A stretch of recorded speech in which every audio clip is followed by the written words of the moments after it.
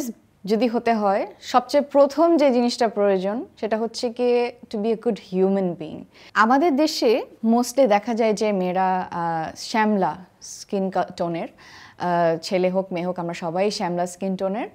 এবং অনেকের কাছে এই প্রশ্নটা আমি শুনতে পারি যে, আমি কি তাহলে ডিজার্ভিং ক্যান্ডিডেট কিনা? কারণ আমার আমি তো শ্যামলা।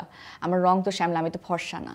তো এটা আমি একদমই ক্লিয়ার আউট করতে চাই যে beauty is against very skin deep and it it is available and it is there in every single race আমরা শ্যামলার মধ্যেও সৌন্দর্য যেভাবে দেখতে পাই, আমরা ফর্সার মধ্যেও ঠিক সেভাবেই সৌন্দর্য দেখতে পাই।